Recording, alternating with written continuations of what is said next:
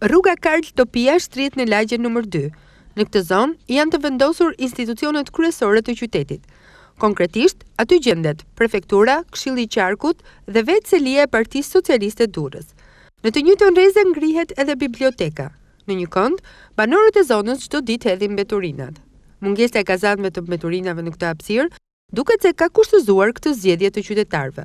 Duke qenë se është një zonë tepër e frekuentuar si nga këmbësorët ashtu edhe nga automjetet, ky fenomen nuk mund të kalojë pa rënë në sy. Aq më tepër që ai është shndërruar në një ritual të përditshëm. Një cep i pushtuar nga mbeturinat, që është në të njëjtën kohë edhe një vend i preferuar për qentë e rrugës. E njëjta hapësirë, jo rrallëherë është përzgjedhur nga të pastrehët si një ambient për të kaluar netët e ftohta të dimrit.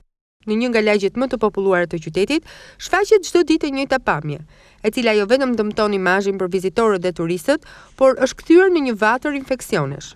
Përgjegjësia është e ndërmarrjes së shërbimeve komunale, e cila nuk ka përcaktuar vendndodhjen e duhur për hedhjen e mbeturinave. Nëse kjo ndodh në zemër të Durrësit, çfarë mbetet për t'u thënë për periferinë, larg tempullit të dijes dhe vëmendjes së institucioneve të qeverisjes?